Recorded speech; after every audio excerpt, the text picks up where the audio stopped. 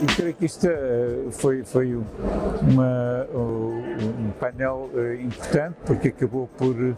acabou por eh, apresentar várias perspectivas, eu diria, complementares sobre, sobre a mesma matéria e que tem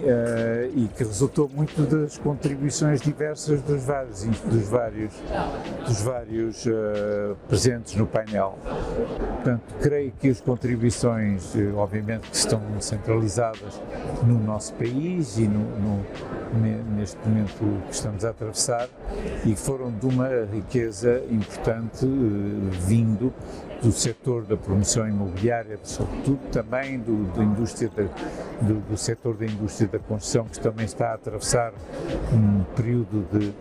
de, eu diria, de adaptação e de transformação no sentido de melhorar as suas performances e de e poder responder com, com outros meios e, e, e também na saída de uma crise económica ou financeira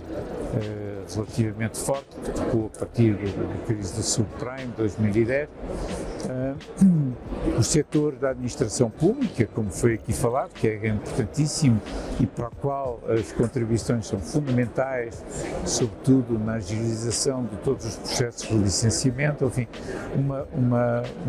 uma uma paleta, digamos, um conjunto de, de temas que são uh, muito importantes porque efetivamente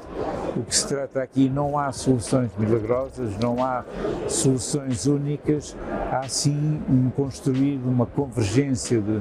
de pontos de vista, de perspectivas, no sentido de que todas elas possam convergir da melhor maneira para ultrapassarmos esta situação.